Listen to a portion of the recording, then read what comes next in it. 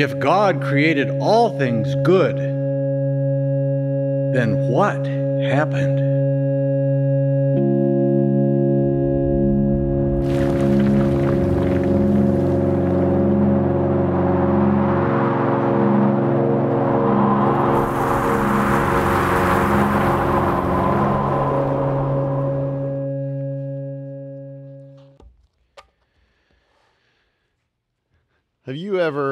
Experienced a, a situation where the description of something and the reality of something didn't match up?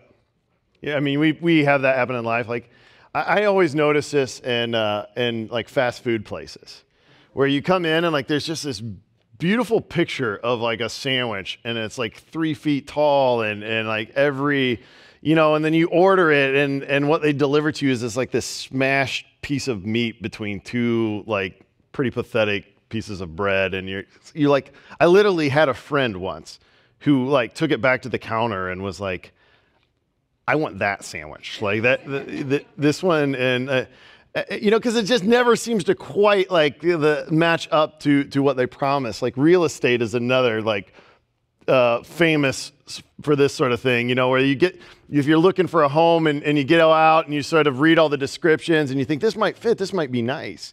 And you get there to the house and what is described as a bedroom, um, unless you're sleeping standing up, it's not a bedroom. You know, there's, like there's these things that, that the reality, the description of something and the reality that we experience don't seem to, to be equal, to match up, to, to be in tune.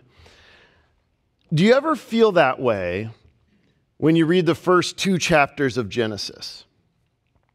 I mean, we've spent the last five weeks together looking at the, the story of creation. And all along the way, as all of this is unfolding, it's, it's being described as good, even, even very good. Adam is, is in the garden experiencing the blessing of God. There's this abundant provision for him. He's, he's living with, dwelling in community with God. Everything is as it should be. But this doesn't, this doesn't match our experience. This isn't our reality. And so we're left with this inevitable question of what went wrong. If, if God created it all and, and He said that all of it is good, then what went wrong? Why does it seem so different? I mean, when was the last time you watched the evening news and said, well, that was fun? That was really, that was encouraging. Like, there's so much great news going on in the world right now. Now, typically, we're, we walk away depressed or angry we see stories and images of, of war and violence, of genocide and oppression, of poverty and, and corruption and abuse of power, of, of devastation from natural disasters, and, and the list goes on and on and on. One of the questions that any philosophy or any worldview or religion has to answer, one of the things that, that has to be dealt with is the problem of sin and evil in the world. Traditionally, then, the, the secular view has been to, to assign blame to failed social or, or political structures, to sort of avoid coming to the conclusion that, that the source of the problem is rooted in human nature itself. It's ultimately seeking to preserve the idea that humankind is basically good.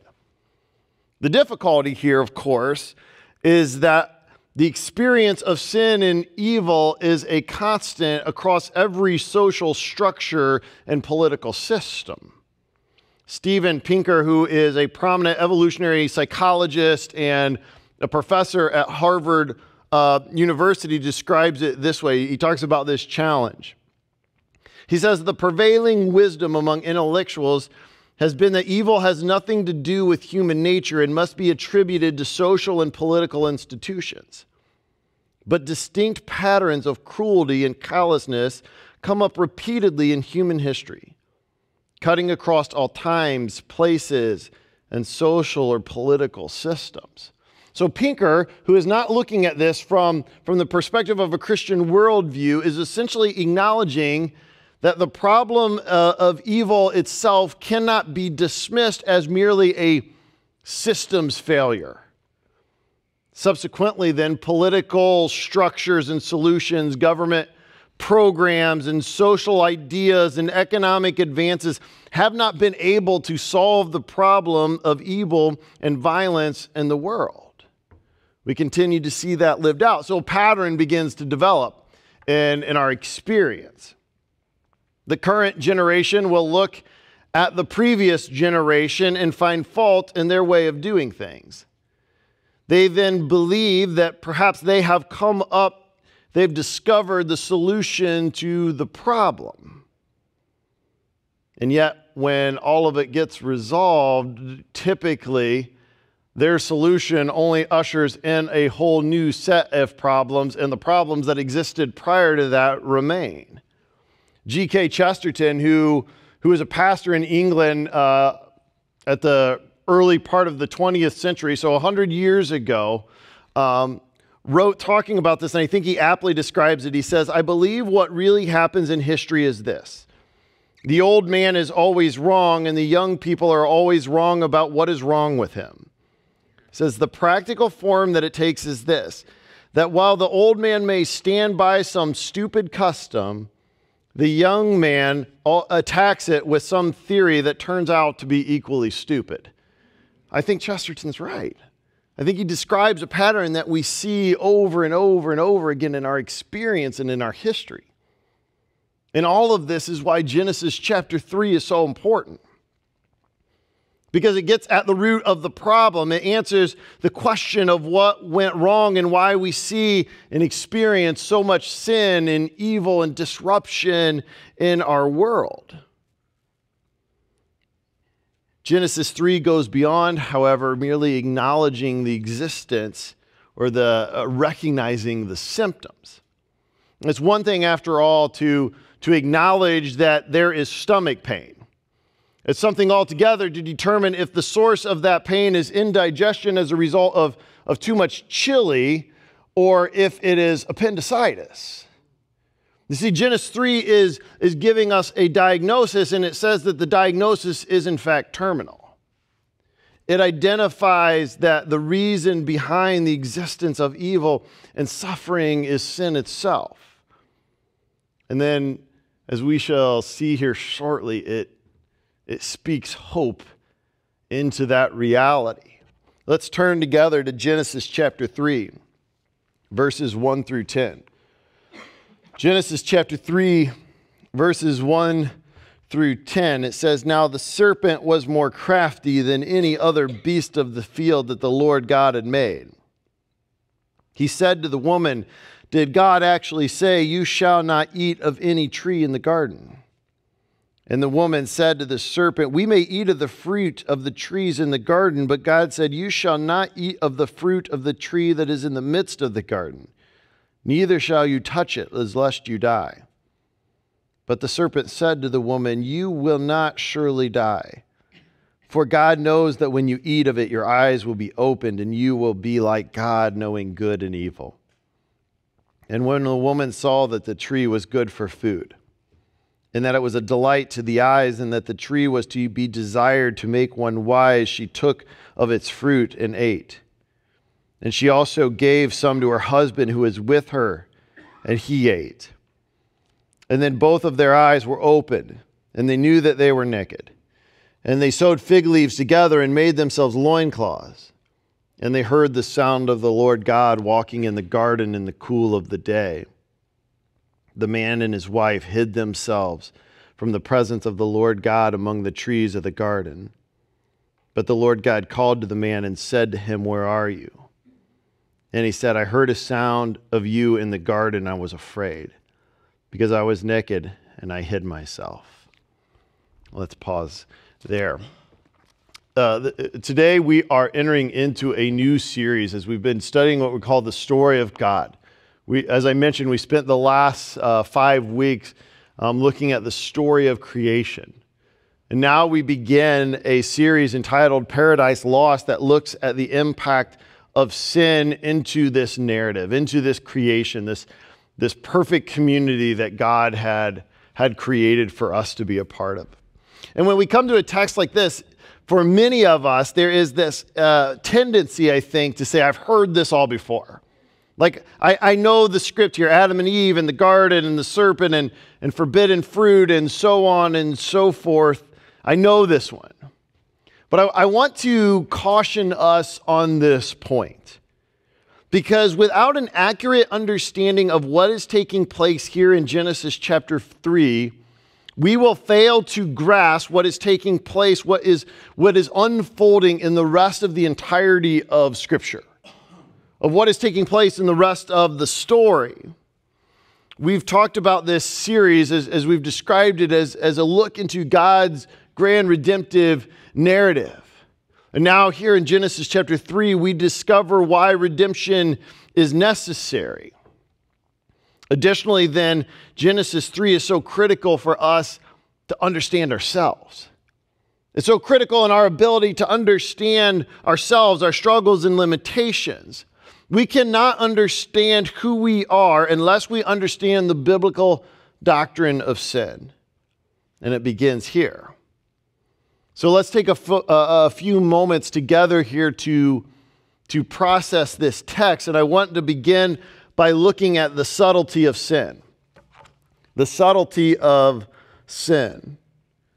Here in the text, we are now introduced to a new character for the first time, simply referred to as, as the serpent. The book of Revelation gives us further insight when it talks about the ancient serpent of old, who is Satan or the devil.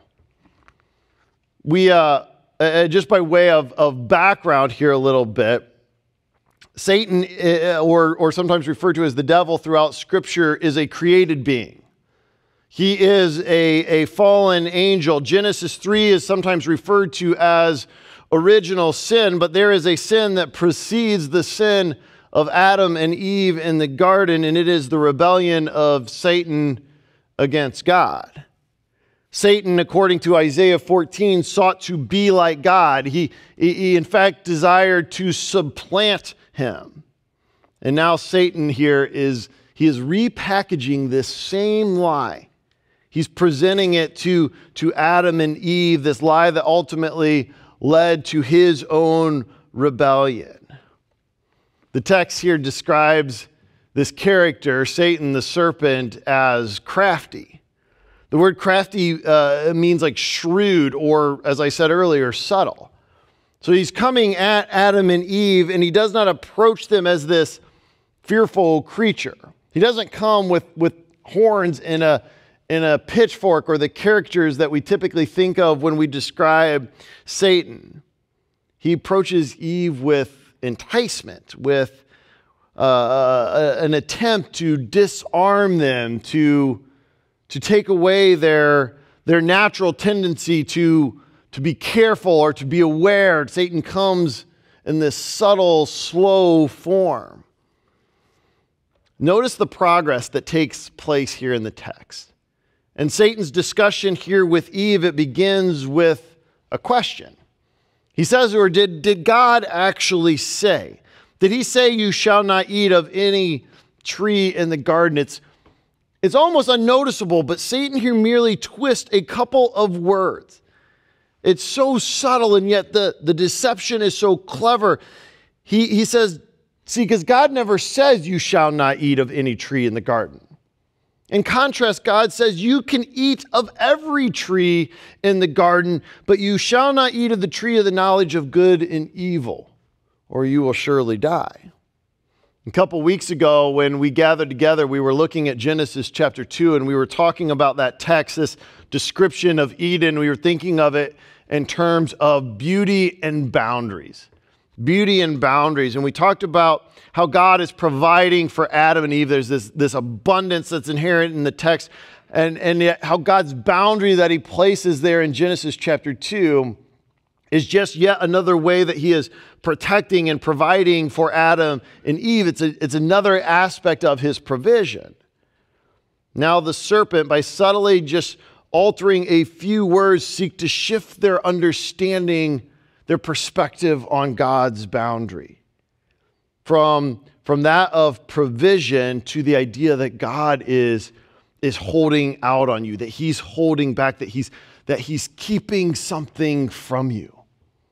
Think for a moment, if you can, about our own, like if we can be introspective here for a second, about our own struggles with sin. So often for me, if you are anything like me, when I am really in a struggle or a battle, I did not see that coming. The consequences and the experience of that did not come in the fullness of what that would ultimately do in my life. It came as a, a quick or an easy way out. It came as something simple or avoidable or something that, that was um, uh, just just kind of more of a mishap or a mistake. That's the nature of sin. That's the nature of what Satan is doing here. He's coming at Eve with this, this notion or idea, this twist on what God says. The reality is, is that you and I continue to experience this in our heart and our lives all the time as we deal with temptation. What, what harm will this do? It's an innocent, it's a victimless crime, right? We don't come. Nobody, nobody wakes up in the morning and says to themselves, I'm going to go cheat on my wife today. It happens over the course of time where things are not checked and the course and, and, and the development and the progression of temptation and sin, and all of a sudden there's devastation in a marriage. And this is exactly what Satan is doing in the hearts and the lives of Adam and Eve. The coercion then continues here as Eve engages in the conversation. She gives her rendition of what God's uh, boundary was, what he said to them. She responds and says, You shall not eat of the fruit of the tree that is in the midst of the garden, neither shall you touch it, lest you die. I don't, I don't want to make too much of this here today, but Eve's retelling of God, God's command contains a, a, an addition. God never said anything about not touching it. So, so again, she's off just that little percent. This would have also, by the way, been a great time for Adam to chime in here. Because if you remember back in Genesis chapter 2, this boundary is set particularly to Adam. The, the, the order of things comes where uh, God speaks to Adam, and then there is the creation of Eve, but Adam remains silent. So the progression continues. Satan now moves from a question to an outright lie. Back in Genesis chapter 3, verse 4 and 5, it says this But the serpent said to the woman, You will not surely die, for God knows that when you eat of it, your eyes will be opened, and you will be like God, knowing good and evil. Satan, in no uncertain terms now, to Adam and Eve, calls God a liar. He can't be trusted. He's holding out on you. He doesn't have your best interest in mind. He calls into question now the very character of God. Is he really good? Does he really love you? Or is he holding back? All of this leads then to, to Satan's ultimate lie. God knows that if you eat of it, you will be like him. He knows that if you eat of it, you can become like him. You are no longer going to need God when Satan sought to deceive Adam and Eve, he does not attempt to call into question God's existence. He does not attempt to call into question God's power. He calls into question God's goodness. He calls into question his character. And this is what I find so unnerving about this passage is that it feels so familiar is, is that it's so recognizable that the, that the pattern of temptation that, that is working itself out in Genesis chapter 3 has been played out in human history and the human experience so many times. It's been played out in my history, in my experience, where I fail to, to understand, to recognize, to acknowledge the goodness of God, and then sin has its foothold when, despite overwhelming evidence to the contrary, I question his character, and in doing so, I ultimately exchange truth for a lie. Satan doesn't come at Eve and, and make his ultimate purpose obvious. He comes with a question. He positions himself as an advocate in order to erode a fundamental truth. And that is simply that God is good, that he, He's here to provide for you, to give to you. This subtlety of sin now gives way to the seriousness of sin the seriousness of sin, what happens next. And, and we all know the story. Adam and Eve come to believe the lie. And like all of us, when we believe it, we act on it. Adam's passivity here is, is negligence of his purpose. When, when God placed him in the garden, he said, You're here to, to guard it, to protect it, to keep it. Again, back in Genesis chapter 3, verse 6 and 7 now. It says, So when the woman saw that the tree was good for food, and that it was a delight to the eyes, and that the tree was to be desired to make one wise, she took of its fruit and ate. And she also gave some to her husband who was with her, and he ate. Then the eyes of both were opened, and they knew that they were naked. And they sewed fig leaves together and made themselves loincloths. And today, for our purposes here, we're not going to spend a ton of time talking about the consequences of what takes place here based on, on Adam and Eve's sin.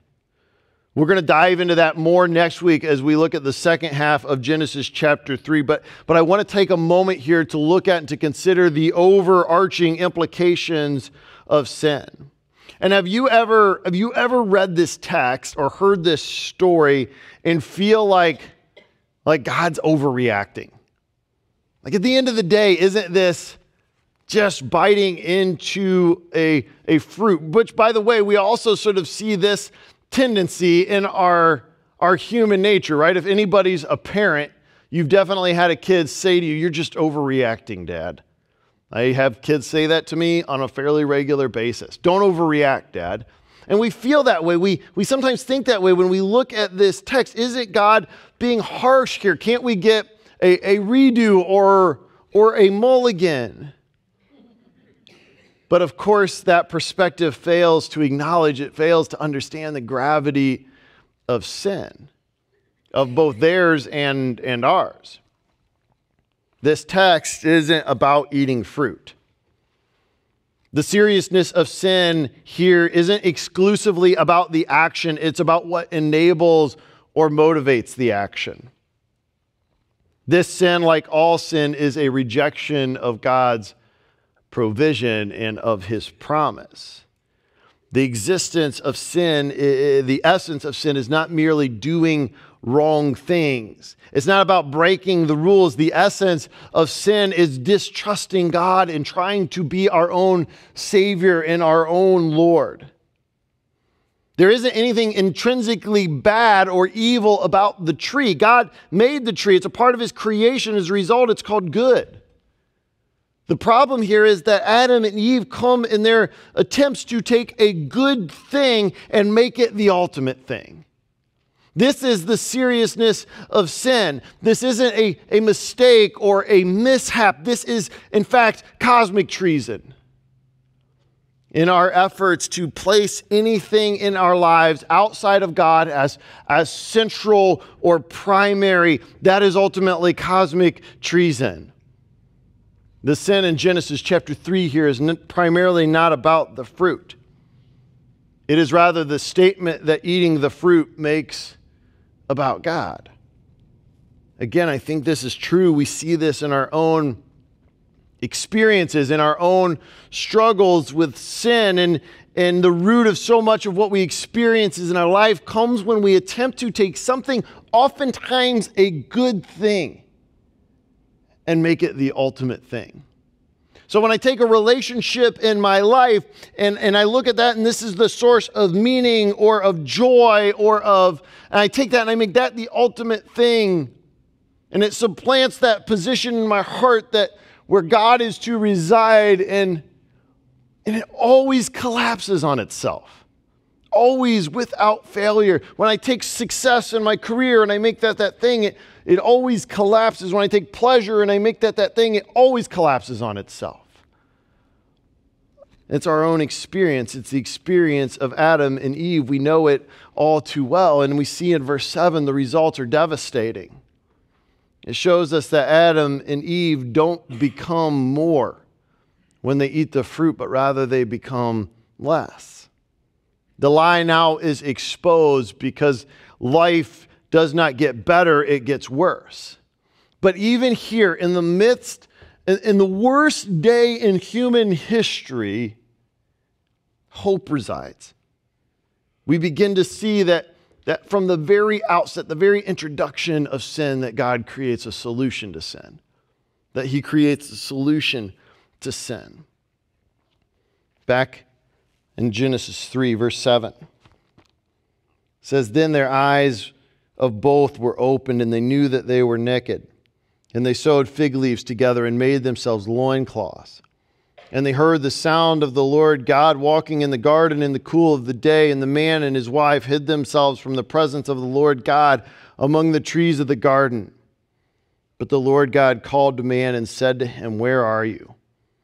And he said, I heard the sound of you in the garden, and I was afraid, because I was naked, and I hid myself. Now it's gone from community and, and and relationship, God dwelling with Adam, to, to hiding and shame. And here in the text, there is so much sorrow, so much grief, and yet there is so much hope. And the sorrow is, is evident to us. Shame has now entered the picture. The community that existed between Adam and Eve and God has been disrupted. The ability to function according to their design has been eroded. There is genuine grief here in this text, and we should feel that. We should feel that. But the story doesn't end there. From the very outset, what immediately follows the entrance of sin into the picture, into this narrative, is the pursuit of the offended, or excuse me, the yeah, the offended hang on a second, of the offender, nope, of the offended by the offender. That, I got to rewrite that. Let me remind me of that. The one who was wronged is now pursuing the one who did the wrong. From the very outset, God is going after them. He does not abandon them, He does not leave them there. And this is the gospel. God is seeking Adam and Eve. This is the reaction of a holy God who is entirely good and completely loving. Pursuit is an indication of his love and his desire for Adam and Eve. He wants them back in relationship with him. I remember once my wife being asked by, by one of the students that she mentored, How did you know that Sterling loved you? How are you sure? And I remember her telling this, this student because it was obvious.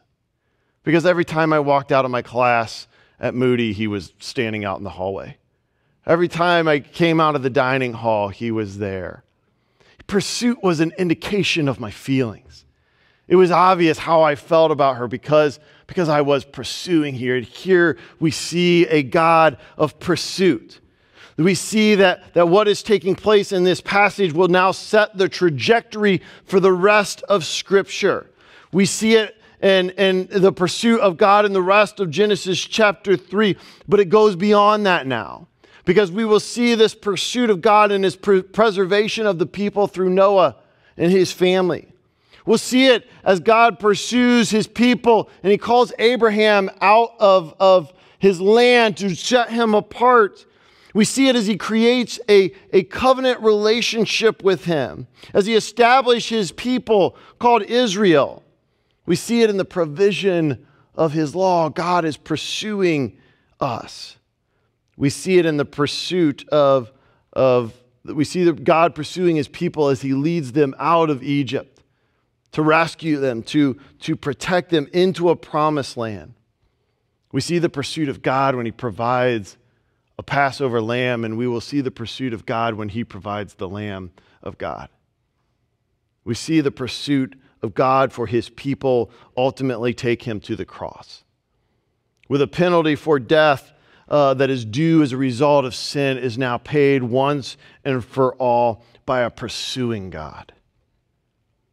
You see, the sorrow that is here in Genesis chapter 3 is met with the hope of the gospel. Now, while we hide in shame, a loving God pursues us. And it starts right here, right from the very outset, as God looks for Adam and Eve. Would you stand as I pray to close this this evening?